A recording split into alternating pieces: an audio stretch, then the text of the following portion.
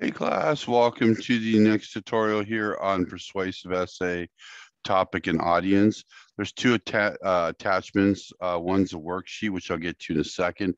This one here is just the guidelines um, and something to go through with you. Um, so in this class, you're going to be writing the essay.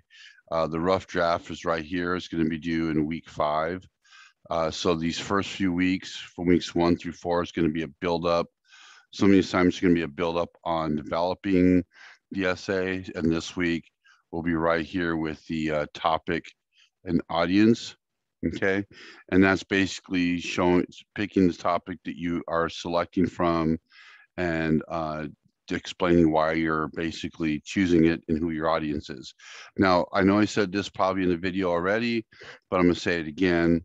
Academic essays, even if it's a topic that you're passionate about or something you know uh, a lot about. But unfortunately, essays are not about your viewpoint, not about my viewpoint or your viewpoint.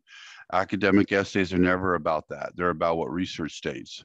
Okay, so you can't you can't uh, put your personal viewpoint in it. But some of these questions will ask for you, like, why did you choose this? Or it's going to ask for some first person stuff. Uh, try to write in third person at all times. But remember, you're not adding any experiences or any thoughts to the topic. Research guides the conversation. That's just academics.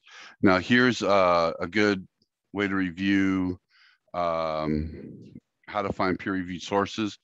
I also put in the in, in, in, DQ2, I also put in how to use the GCU library kind of way of looking at it so that you can find your information for your other worksheet. Okay. Um, it's really a good way to help out. All right. So if you have any questions about this worksheet, let me know.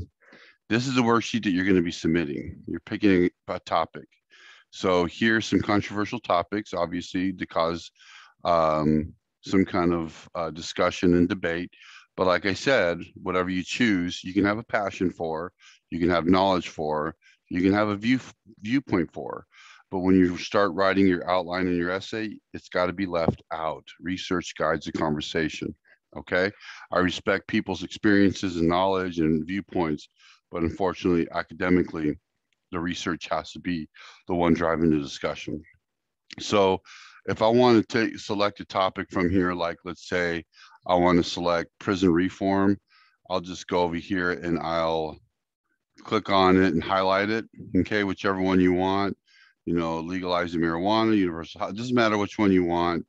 You go ahead and you just highlight it, um, the one you want. Just notice how I just highlighted. If that doesn't work, you can highlight it and come up here and press this one right here where it says text highlight color. Okay. Uh, what is the chosen topic for your persuasive essay? You would just put prison reform.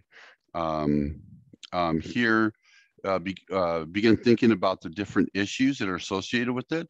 You want to narrow your focus uh, and take a pro or con position, which is fine. Um, you want to present a simple statement for your position here, like, for example, personal use of social media is not appropriate in workplace. You know, some people could put, you know, um, the use of marijuana is not healthy, therefore it should be illegal. Or if you take the stance, uh, marijuana has med medicinal benefits and should be legalized. So you could take whatever stance it is. Prison reform, prison sentence reform, you can take it both sides as well. So you don't have to take one side or the other.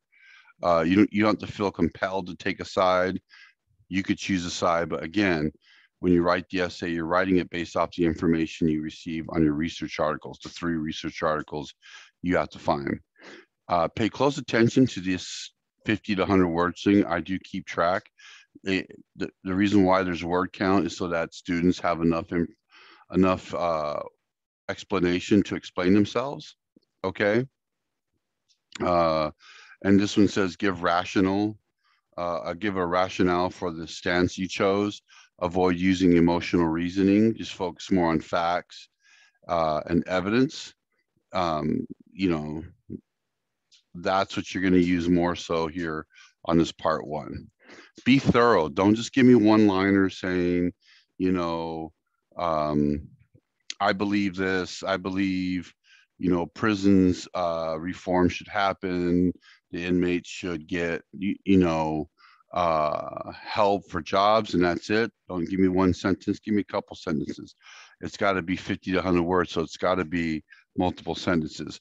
The only one that where you'll have like maybe one sentence is here uh, is this one right here because it's asking for the topic you chose. You can write it out in one sentence there, but these other ones should have a uh, well, on this one too, because an example of a statement. But most of these other ones, you nearly need to have a thorough explanation. Same thing here in section two, you want to review this media piece. Always review media pieces before. If you ask me questions about certain sections or assignments, and I, if you're asking certain questions, I can tell if you haven't paid attention to this, to these uh, links or anything or videos that are given in class. So you want to make sure you're paying close attention. All right. Here you want to do thorough explanations here, like who is the ideal audience and why.